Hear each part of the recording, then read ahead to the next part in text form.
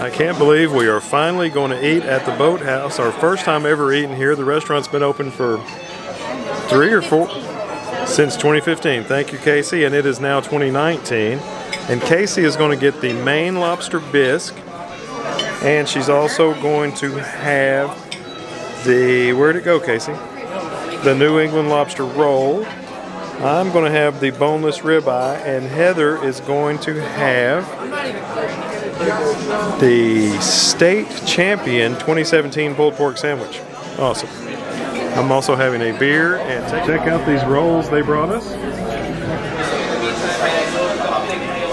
Casey, what are you celebrating? My birthday a month ago today. And Heather, what are you celebrating? I'll be done with my master's degree in two weeks. From the University of Georgia. Go dogs. Sick 'em. I'm celebrating being on vacation.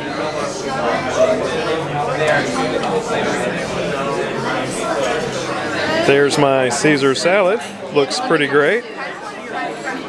All right, how does your soup taste? Is it good, bad, indifferent? It's really good and it's creamy and it's, it's, it's great. Like, Now, you were just in Maine uh, like a week or two ago. How does it compare to the real Maine lobster bisque? I like it better. Wow, better than the real thing. I think it's like close to this one nice restaurant we ate at, but I think I like it better. All right, high praise. Okay, so a lot of times my favorite part of my meal at a Disney restaurant is the Caesar salad that I get, but uh, hopefully that's not the case today because this Caesar salad is kind of just okay. It's nowhere near as good as the one that I had uh, last October at the Turf Club or the one even at the restaurant at Disney's Vero Beach Resort um, about a year ago. Just okay, nothing special. I bet my ribeye will be special, or I'm hoping it will be. Okay, so Casey has got her stuff. Show me what you got there, Casey. Food. That's lobster right yeah, this is lobster lettuce and it's on like a like kind of like a hot dog bread bun thingy. Yeah. And then fries and then two ketchup. Awesome. All right, now let's see what let's see what Heather's got going here. Uh, fries, barbecue sauce, pulled pork with fried pickles. It normally has onions too, but I asked for those to not be there. Okay. And look at this ribeye that I've got working. Now I did not I did not order a side, but I still got some potatoes. and I'm finishing up my Caesar salad, and, it, and it's still just okay. It's not the most fabulous thing ever, but it's good.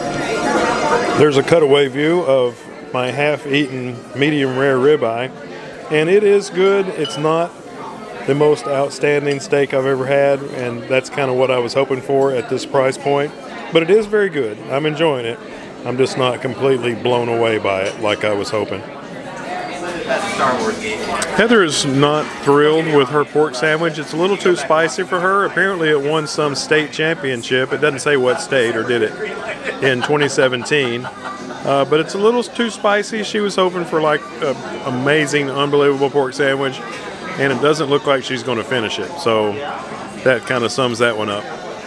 On the other hand, Casey had the best lobster bisque she's ever had, and I think you're pretty thrilled with that sandwich. I added some of this Gibson's Bar and Steakhouse seasoning salt to my ribeye, and it woke it right up. It tastes much, much better now with a little bit of that added to it. Kind of the flavor I was hoping for, but didn't get straight out of the kitchen. But this bar and steakhouse seasoning salt is right here on the table, so that's all you need. There's the Boathouse Restaurant where we had dinner tonight.